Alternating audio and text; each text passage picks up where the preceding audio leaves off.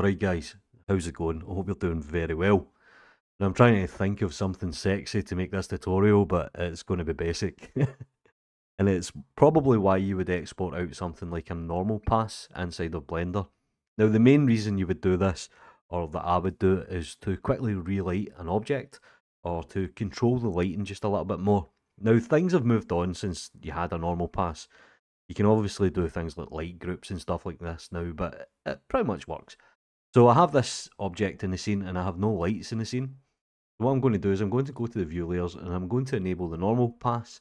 And just as a kind of extra bonus, I'm going to come down to the light and I'm going to enable the direct diffuse color light and I'll quickly hit F12 to render.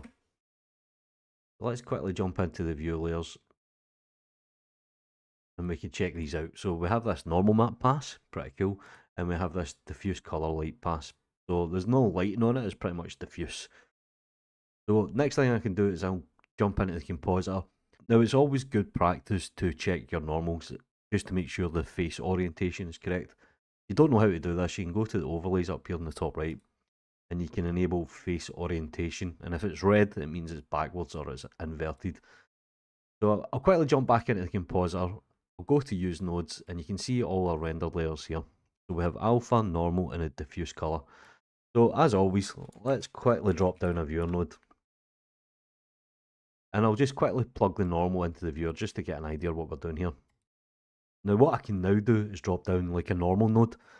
Now if you have the normals it'll just be blue so you want to take the dot and if I move this sphere around you'll notice that I can actually start to control the lighting. So one thing we can do is we can take this diffuse colour and kind of mix it with this. So let's add in something like a mixer. So let's add in a mixed colour. And let's just take the image and we'll put this on into the second one and we'll take the diffuse colour. And let's just do something like a soft light. And you can see that we can start to control the fall off of the light. Now if you need a little bit more control, we can actually separate this channel. So I'm going to delete this normal node and I'll delete this. And let's just quickly add in a separate colour.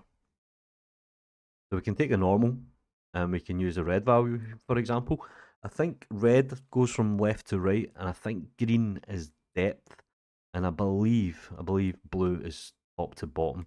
Now we can actually double check this by just quickly dropping in a color ramp, and let's squeeze these values. Pretty cool. So that's pretty much one reason why you would use something like a normal pass. Uh, I'm not a compositor, but I think this is why you would use it anyway. Uh, if there's anything I've done wrong, or if you'll get any comments, please stick them down below. Educate other users. Anyway, you know what to do.